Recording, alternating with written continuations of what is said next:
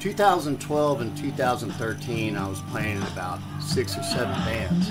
And uh, one of the bands I got to play with, uh, one of the people I got to play with, was the uh, legendary R&B blues singer Sherrie Sarno. I really enjoyed playing for Sherrie Sarno and the Chevys because it gave me a chance to do something a little bit different than what I'm used to, and that is just sit back and, and lay the groove. Not everything is about power and being loud being fast. And sometimes as a drummer, you just sit back and keep the beat, and that was basically my job when I played for the Chevys. Without a doubt, Sherrie Sarno is one of the coolest and kindest musicians I've ever worked for, uh, and she just has an amazing voice, an amazing gift uh, where you know there's no need for the band to have any type of gimmick. Uh, she just would come in and sit down in a chair and start to sing, and out would pop this amazing voice. And in this section of the documentary, I'm going to give away perhaps my biggest drumming secret. It's called the movie, and I don't control the movie. I don't know when I'm going to see the movie, but a lot of times I close my eyes, or I don't even need my eyes closed but I will see flashes of people, places, events, things in my life that that are I don't know. I feel the music and I see these things while I play, and I'm seeing a movie in my head that helps me produce the sounds I'm making. And oftentimes I would look at the rest of the members of this band, and we were getting so into the, the music uh, that uh, I think that they were also playing their own movies in their head. And so uh, the, the biggest thing I have, the biggest secret I have is called the movie, and it's basically when you feel the music so strongly and it's triggering that part of you and that the emotions inside of you to produce the sound that you're producing. Sherrie's voice, along with her whole persona, is, is, is one of just, you know, power and yet blues. But yet she sits there in that chair and brings a sense of calm uh, amidst any of her audiences. Like, you know, hey, uh, no matter what's going on, everything will be all right. Everything is okay. And I certainly needed that calmness at this point in my life.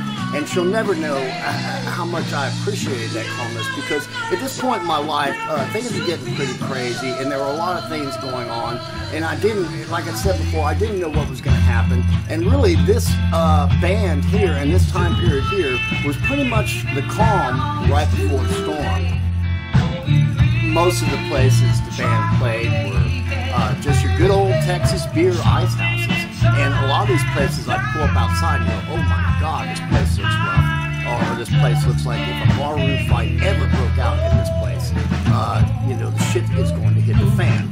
But Sherrie would come in and just, like I said, have bring this whole sense of calm and peace to everybody while she sang, and the audience would feel it. And it was a really amazing thing to to watch her do this. I mean, everybody was just sat there and just mystified by her voice.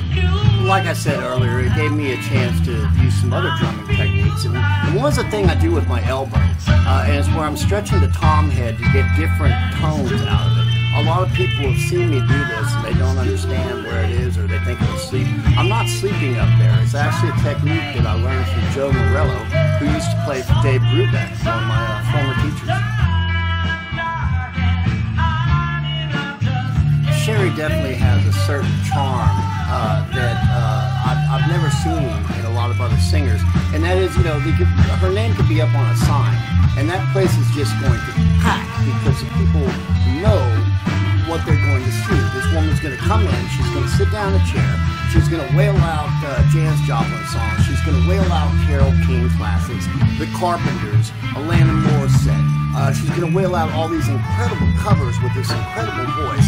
At the same time, she's going to be up there talking to you as if telling a story, almost like Mother Goose. And it's amazing, amazing to watch all these bikers and, and these people out there just sit there and it's like uh, it's like story time to them. I mean, they just love it. They just eat eat it up, and I mean, it, there's just a real certain magic and certain charm that she's got. I just can't explain how she does it, but uh, she has the ability to just charm and she sits there and she's just got that room totally into what she's doing. Sherrie's worked with some of the best Texas musicians and some of the best bands that I can possibly think of. Uh, she's also done work with the Bodacious Tatas and, and, and, and other people. Everybody in South Houston and Galveston Circuit uh, knows who Sherrie Sarno is. And it was honestly a, a real pleasure playing. And, um, you know, it, it's it's sometimes it's, it's a good deal to just sit back and and be part of the band that lets another person shine. And and Sherrie certainly does stand out and shine as one of the best R&B players uh, around. There's just absolutely no doubt about it. Though I played the show just a short time with Chevy's, I had a, a great time.